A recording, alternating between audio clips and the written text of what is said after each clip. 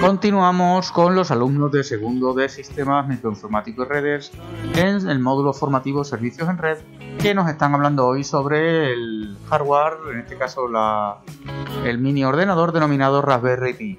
Estamos utilizándolo para instalar servicios en él. Nos acompañan ahora eh, David Bartol, Alejandro Bermejo, Rafael Amador, Raúl Delgado.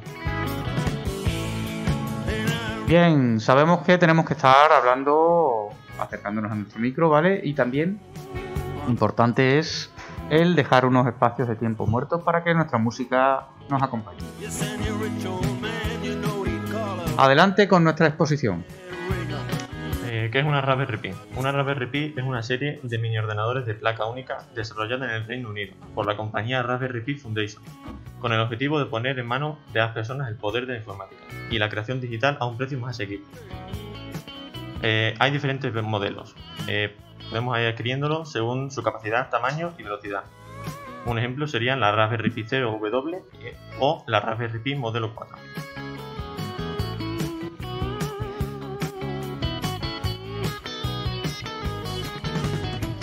¿Sabéis qué servidores se pueden montar en una Raspberry Pi?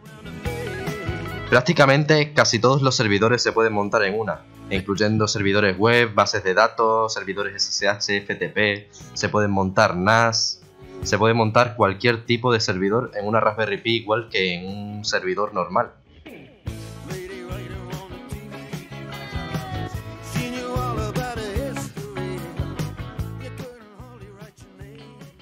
Eh, Raspberry Pi eh, en principio fue creado para que los niños aprendieran sobre programación, nociones básicas, pero a lo largo del tiempo se ha demostrado que con su funcionamiento sobresaliente eh, se ha empezado a usar por los seguidores de proyectos informáticos.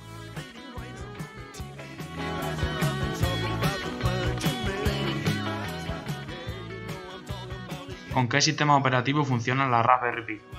La Raspberry funciona con unos cuantos sistemas operativos, entre los que se encuentran Arch Linux, Raspbian, RASBCM, Idora, LibreELEC y Windows 10.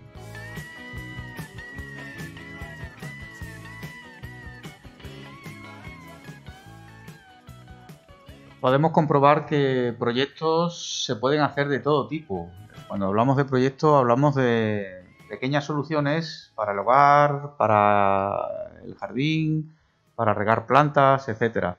Tenemos muchísimo eh, por internet que podemos encontrar muchísimas soluciones y daros cuenta que estas soluciones son fáciles, son una forma de aprender y bueno, pues que hoy en día estamos todos cualificados. Para eso precisamente estamos utilizando nuestra, nuestra formación en grado medio para poder implementar este tipo de soluciones que luego las hagamos llegar a la sociedad. ¿eh? Bien, pues continuaremos más adelante con más servicios, más proyectos, etcétera. ¿Qué os ha parecido a vosotros esto de la Raspberry? ¿Lo conocíais? A ver. Yo la verdad que había oído hablar, pero no sabía ni lo que era con detalle, ni para qué servía, ni nada. A mí, en opinión personal, es algo súper útil, ya no solo por lo que puede hacer, sino al nivel hardware por el tamaño, que es algo pequeño y es fácil de, de transportar de un sitio a otro y es bastante cómodo. Y luego aparte las funciones, todas las funciones que tiene y que puede hacer y todo el provecho que le puede sacar. Fijaros, una Raspberry Pi de modelo 4, ¿eh? aproximadamente la tenemos por 36 euros, por ahí, ¿eh? o sea que es un mini ordenador. Es cuestión de buscar un teclado y un ratón y si necesitamos, pues le aplicamos una pantalla que puede ser cualquier monitor de los de hoy en día, cualquier televisión de los que tenemos hoy en día en el hogar. ¿eh? O sea que es una solución bastante económica y nos permite, bueno, pues una serie de posibilidades increíbles.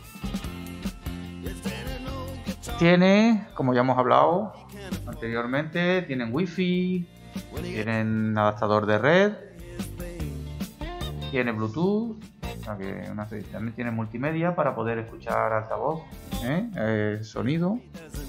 Son una serie de soluciones bastante interesantes. ¿Alguno más que quiera apuntar algo sobre Raspberry? Bueno, pues damos por terminada la sesión de hoy y ya nos veremos posteriormente en otra, en otra ocasión.